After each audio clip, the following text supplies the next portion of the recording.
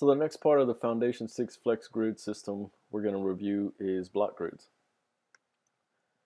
Block grids allow you to um, define column widths at the row level instead of the individual column level.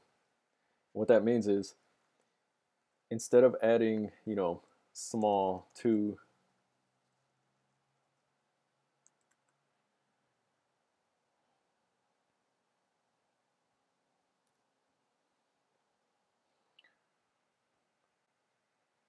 So the next part of the Foundation 6 Flex Grid system we'll look into is block grids. And what that means is we could define how many columns we want per row and on which specific screen size.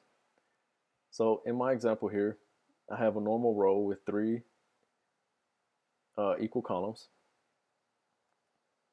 And with um, block grids, I can define how many columns are on each row. So we just looked at a medium uh, example. Let's say that on medium screens and up, we would like two columns per uh, row. So if I add medium dash up dash 2 to this div, and I come back and refresh, you'll see that we now have two columns in the first row and one on the second we can control this behavior by uh, screen size. I'll add large up 3.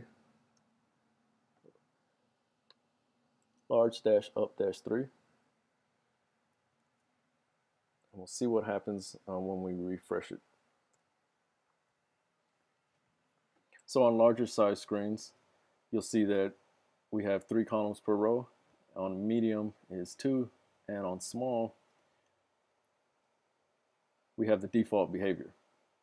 If we wanted to stack each of these, we could simply add small up 1.